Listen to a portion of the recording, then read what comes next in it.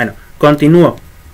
Me quedé en esta parte que estuve leyendo el libro de Caballo de Troya 4, Nazaret, que trata acerca de los años que la, de, la vida de Jesús, a su adolescencia, hasta el inicio de su vida adulta. Que en la Biblia no se mencionan. ¿Por qué no se mencionan? Pues porque la Biblia trata de cuestiones sagradas. Y esta parte, según esta novela de la vida de Jesús, pues se dedicó prácticamente a su desarrollo personal, educativo, pero principalmente, y aquí pues se responde la pregunta, ¿por qué Jesús o qué hizo Jesús en esos años que no se menciona? Es básicamente vivir su vida y dedicarse a su familia, y a cuidar de su mamá esto es, aquí se habla de esta historia, pues que eh, cuando él, era niño, que su padre José muere, bueno, su papá adoptivo, ¿no? Porque la teoría es pues que la religión dice que Jesús es hijo de María y de el hijo y es de Dios y pues Jesús fue como su papá adoptivo. Entonces muere José, pero como Jesús era el primogénito, la costumbre judía pues era pues que Jesús pues debía velar por su familia, de caso su mamá. Entonces, todo ese tiempo, en resumen, lo dedicó a esta etapa de crecimiento en que fue, estuvo trabajando y se volvió un hombre, bueno, no se volvió, aquí ya, ya lo era, pero se volvió una persona productiva dispuesta a dar todo por ella, por la familia. Y trata otras cosas que ya son, que son polémicas, como si tuvo hermanos, y hay, hay una escena en que hubo una persona que se enamoró de, de él, ¿sí? Hay una muchacha que se enamoró de Jesús, ¿sí? no al revés. Pero pues sí. Entonces, me gustó esta historia porque, a pesar de que lo probable es que de una novela, que si la premisa de Caballo de Troya es que un militar de Estados Unidos viajó en el tiempo y fue a la época de Jesús, y JJ Benítez asegura que es de verdad. ¿Quién sabe? De ser verdad, pues va a causar mucha polémica a nivel cristiandad. Y bueno, ese es otro tema para tratar en otros videos. bueno, entonces este es Caballo de Troya 4 y continúo. Bueno, entonces como ya leí y estuve leyendo un libro de JJ Benítez, Así como por azares del destino. Así me pasa con muchos libros que leo. Que estoy en una librería. Y así como si el libro hablara y diciendo, cómprame, cómprame. ¿eh? Pues el siguiente libro, pues fue uno de esos casos. ¿eh? Ya que traía la idea de JJ Benítez. Mire este libro con un vendedor ahí en un tianguis en Misión Dragón. Me lo encontré, me llamó la atención de JJ Benítez, Pactos y Señales. Dije, pues, ¿qué rayos? No, ya acabo de leer un libro de JJ Benítez. Bueno, seguimos. Este libro, la idea básica es que tienen que leerlo, que el interés de JJ Benítez. No, no, no, es broma. Lo que habla es acerca de que en la naturaleza o en la espiritualidad mm, uno puede hacer un pacto con el universo o con no sé bueno voy a dar un ejemplo para darlo a entender trata mucho acerca de esto del contacto con los muertos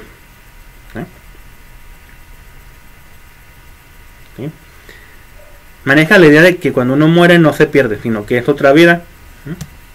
Pasamos a otro plano. Y que es posible tener comunicación con los muertos. Este libro se trata básicamente de relatos, en el cual JJ Benítez asegura que fue a entrevistar a muchas personas en sus viajes que él hace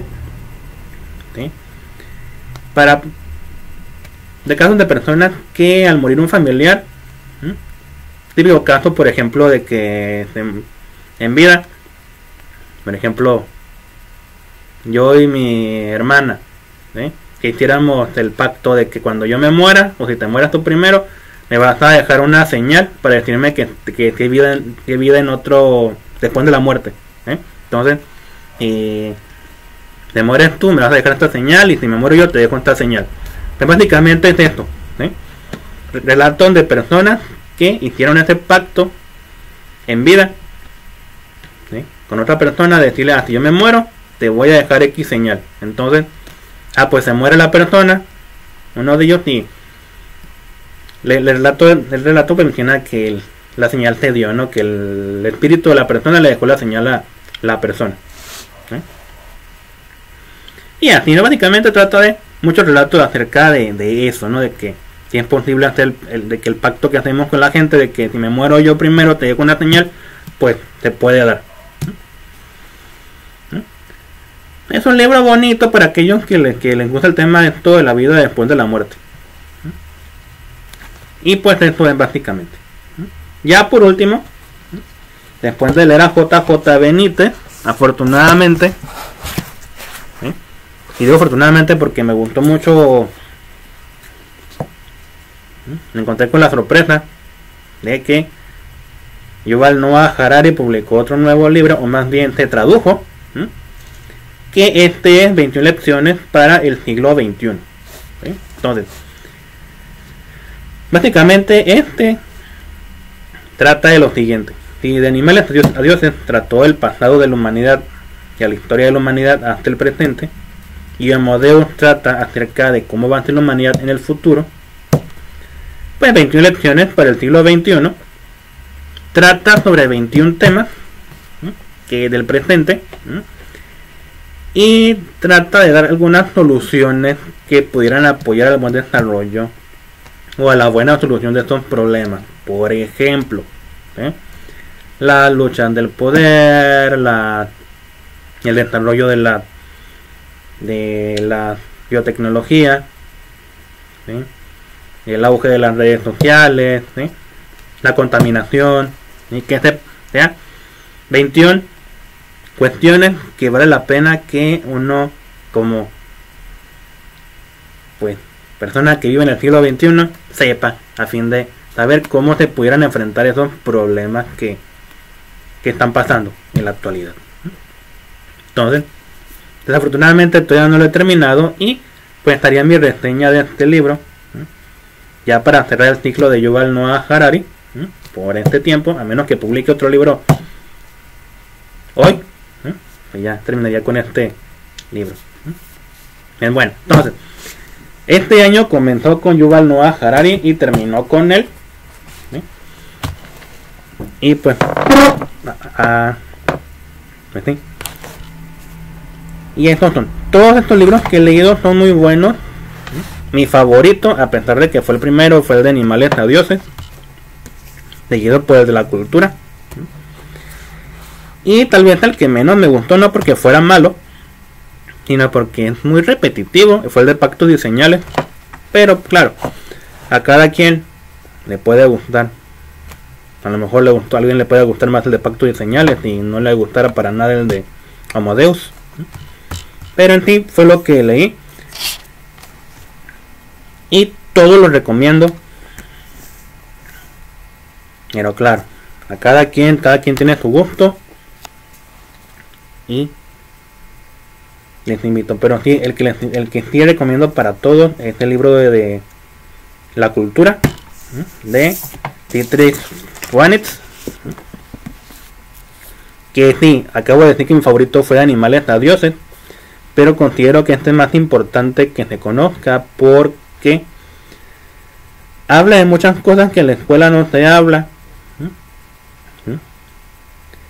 y que vale la pena que conozcamos, porque aparte de que habla de historia, habla acerca de muchos libros, novelas, libros de filosofía, que vale la pena que conozcamos para hacer para tener un mejor criterio. Sobre todo en esta época en que poco a poco la televisión se está llenando de, de programas basura.